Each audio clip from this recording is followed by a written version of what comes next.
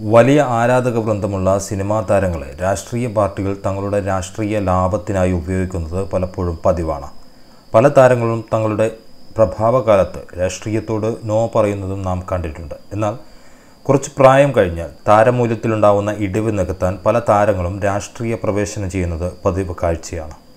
ഏതെങ്കിലും താരങ്ങൾ അത്തരത്തിൽ പാർട്ടിയിലേക്ക് വന്നാൽ പിന്നെ വർഷങ്ങളായി പാർട്ടിക്ക് വേണ്ടി കഷ്ടപ്പെട്ടവരെ നോക്കുകുത്തുകളാക്കി താരങ്ങൾക്ക് സ്ഥാനമാനങ്ങൾ നൽകുന്നതാണ് പലപ്പോഴും പതിവ് കാഴ്ച.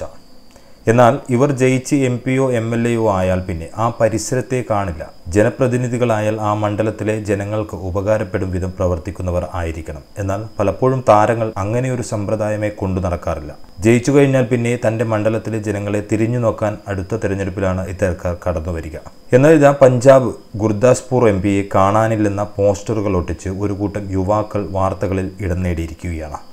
കാണാതായ B J P M P Sunny ഡിയോളിന്റെ പോസ്റ്ററുകൾ വീടുകളുടെയും റെയിൽവേ സ്റ്റേഷന്റെയും വാഹനങ്ങളുടെയും ചുമരുകളിൽ ഒട്ടിച്ചും കൊണ്ടാണ് യുവാക്കളുടെ പ്രതിഷേധം. എം പി ആയ ശേഷം അദ്ദേഹം ഗുരുദാസ്പൂർ സന്ദർശിച്ചിട്ടില്ല. അദ്ദേഹം സ്വയം പഞ്ചാബിന്റെ മകനാണെന്ന് വിളിക്കുന്നു. പക്ഷേ അദ്ദേഹം ഒരു വ്യവസായ വികസനവും കൊണ്ടുവന്നിട്ടില്ല. എം പി ഫണ്ട് അനുവദിച്ചിട്ടില്ല. കേന്ദ്ര സർക്കാർ പദ്ധതികളൊന്നും ഇവിടെ കൊണ്ടുവന്നിട്ടില്ല. ജോലി ചെയ്യാൻ താല്പര്യമില്ലെങ്കിൽ രാജി നൽകണമെന്നാണ് പ്രതിഷേധിക്കുന്ന ഒരു പ്രദേശവാസി പറയുന്നത്.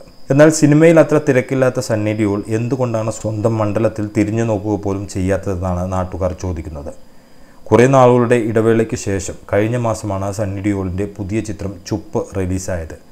പ്രേക്ഷക പ്രശംസ ഏറെ പിടിച്ചുപറ്റിയ ചുപ്പിൽ മലയാള യുവനടൻ ദുൽഖർ സൽമാനും പൂജാ ഭട്ടും അഭിനയിച്ചിരുന്നു.